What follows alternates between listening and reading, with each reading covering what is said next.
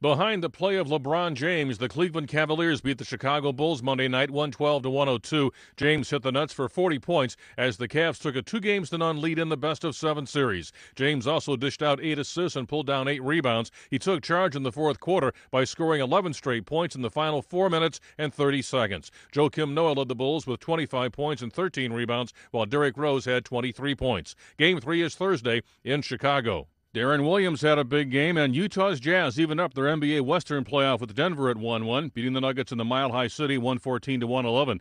Williams finished the game with 33 points and 14 assists, while Carlos Boozer finished with 20 points and 15 caroms. For the Nuggets, Carmelo Anthony fouled out after scoring 32 points.